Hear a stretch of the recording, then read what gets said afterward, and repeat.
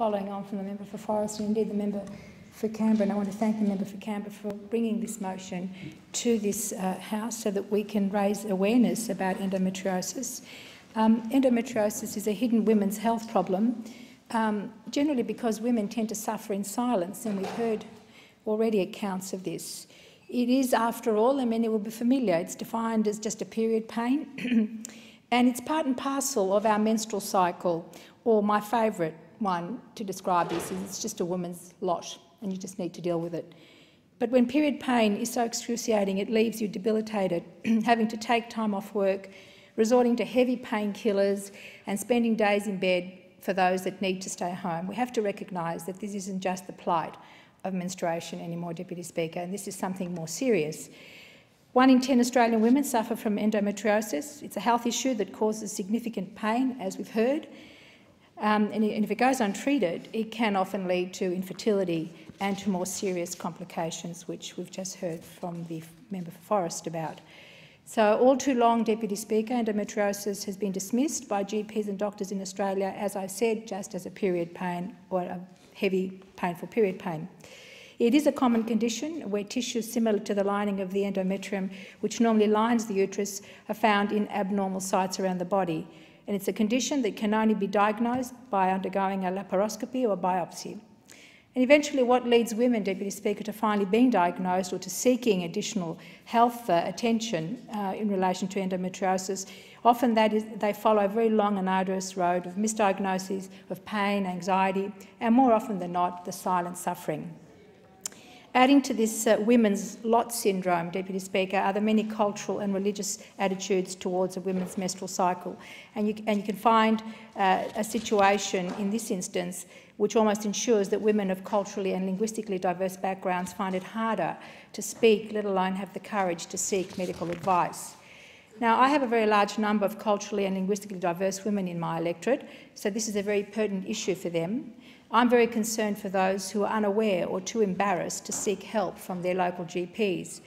And more importantly, I'm concerned for those women that don't feel their female menstrual health is important enough to seek medical advice. So I'm always grateful for the great work that women in my electorate do to help each other on a raft of issues, endometriosis awareness being one of them. I want to pay tribute to Dr Umber Rind, who established a medical practice in my electorate that focuses primarily on women's health so that refugee and migrant women in particular have a safe space to discuss their issues. Raising awareness, diagnosing and treating endometriosis tackles uh, cultural and religious taboos associated with menstruation head on and ensures that the women in my electorate seek help and understand that left too long or untreated, endometriosis can lead to infertility. And this is a more serious issue for CALD families in particular who place a significant importance on starting a family. My refugee and migrant constituents are more often than not from a low socioeconomic background. IVF treatment may not be an option they can afford, lending itself to a whole host of other psychological health issues associated with not being able to have children. Dr Rind and her staff help women talk about these issues and encourage them to seek help. I also uh, want to acknowledge this new generation of younger women from CALD backgrounds, such as Dr Rind, and others who are shifting uh, taboos towards women's health. And I want to acknowledge in particular another young woman, Nelly Skoufatoglou, the English ed edition editor of the Greek Australian newspaper Neos Kosmos, for her work in using her personal experience with endometriosis to raise awareness.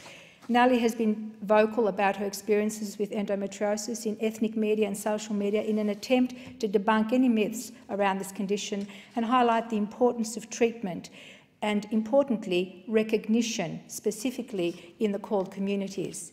In an article published earlier this year, Nellie talks of her journey with endometriosis, her eight years of silent suffering, numerous misdiagnoses, several GP visits, specialists, surgeons. She talks about the effect this has had on her day-to-day -day life, the pain, the bleeding, the exhaustion, anxiety, tests, hormones, antibiotics, frustration, failed relationships after failed relationships, and her secret fear of losing her sanity. This is a courageous young woman who knows the only way to change perceptions about this silent disease is by going public with them. So raising awareness, Deputy Speaker, is important because there is no other way to encourage women to seek advice and to speak up about this very silent condition.